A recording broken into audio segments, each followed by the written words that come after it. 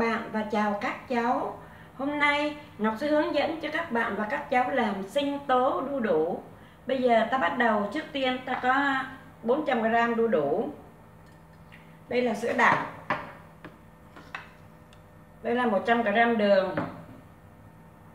50g sữa tươi. Đá. Và đây là mật ong. Bây giờ ta bắt đầu trước tiên ta bỏ đá vào trong cối trước. Đây là đá mình đã đập nhỏ rồi.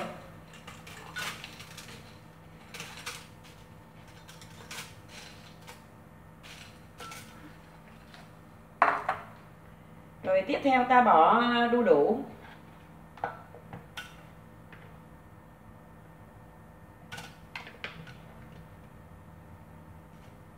Đầy có thể xay làm hai lần. Và ta bỏ đường vào. Hai muỗng đường, ba muỗng đường. Và ta đổ sữa tươi vào. Và ta đổ à, sữa đặc vào. Một muỗng đầy sữa đặc. Sữa thì mình à, muốn ăn nhiều thì mình cho nhiều, muốn ăn ít thì mình cho ít. Đường cũng vậy. Mình muốn ăn ngọt thì mình cho nhiều đường và mình muốn ăn không ngọt thì mình cho ít đường thôi. Còn mật ong ta ta đổ mật ong vào. Bắt đầu ta xay.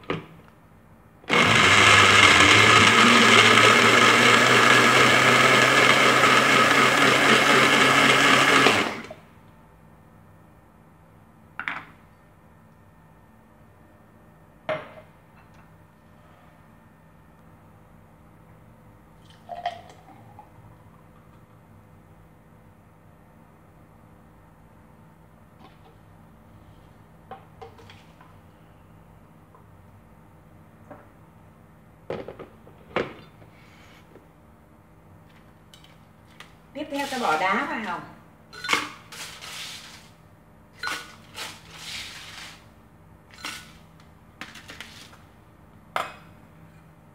Ta bỏ đường vào.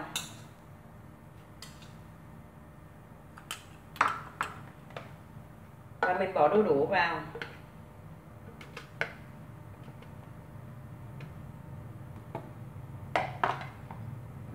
Và mình bỏ sữa tươi vào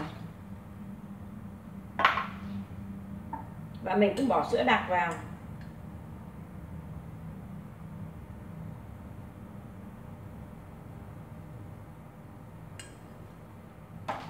Và tiếp theo là mật ong.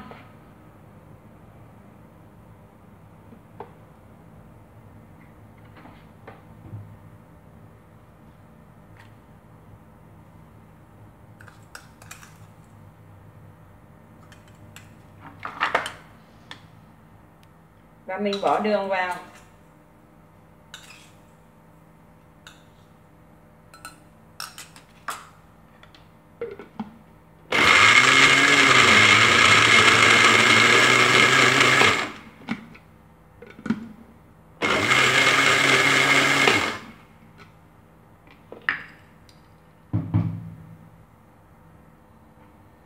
Vậy là ta đã có hai ly sinh tố. Đây là sinh tố đu đủ sinh tố đu đủ ăn rất tốt cho sức khỏe. À, ăn đẹp da và nhuận trường.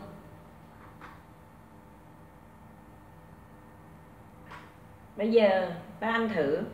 Sinh tố của mình rất là ngon.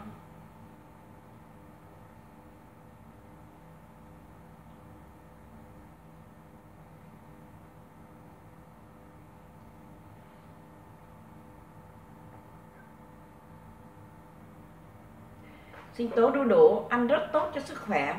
Và đu đủ cũng rẻ mà ai ai cũng có thể làm được. Mỗi ngày ta nên ăn à, sinh tố đu đủ. Từ vì à, đu đủ rất là mát và bổ. Mật ong cũng bổ và sữa tươi cũng mát và sữa à, sữa đặc cũng rất là bổ. Mình có thể cho em bé và những bà bầu và tất ừ, tốt ừ, cho mọi lứa tuổi.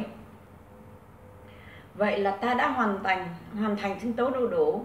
Xin chào các bạn, xin chào các cháu. Chúc các bạn và các cháu thành công.